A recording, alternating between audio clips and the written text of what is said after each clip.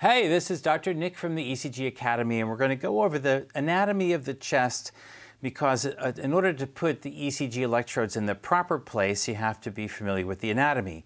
I've seen a lot of people put the ECG leads in the wrong place, the electrodes go in the wrong spot, and then it makes the ECG look abnormal when it isn't. So uh, let's go over the anatomy of the chest.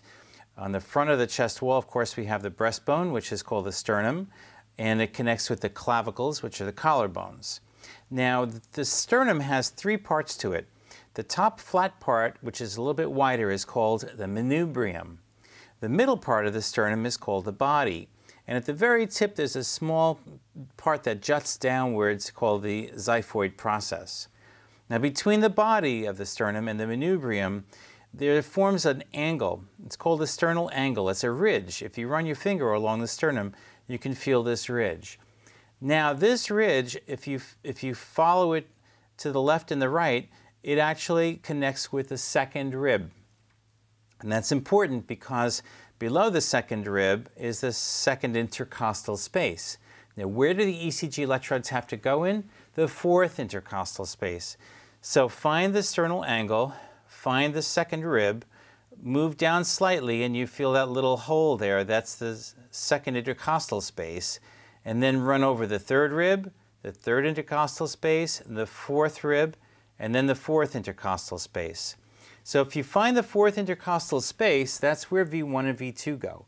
Now V1 should go on the right side of the sternum, where the sternum meets the rib, right in that fourth intercostal space, right about here and V2 needs to go on the left sternal border at that fourth intercostal space.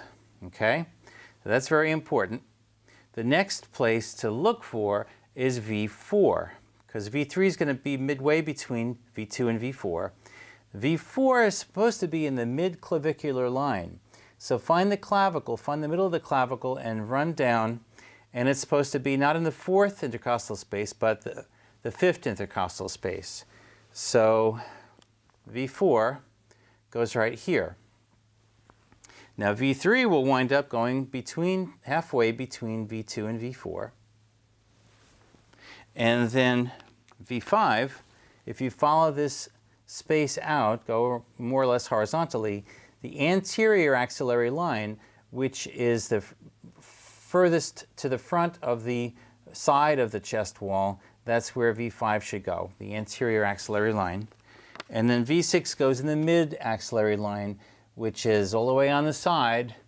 Don't be afraid to go just underneath the uh, armpit there because that's where it belongs. And if you put your electrodes in this position, your V leads, your precordial leads, will come out looking properly. Now what about the arms? Well, the arms are easy.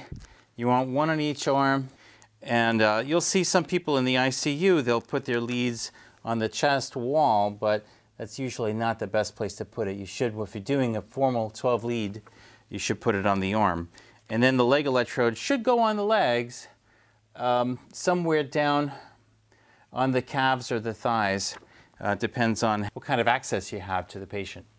And so that's where they belong. And uh, I'm going to show you some pictures of where not to put them in just a moment.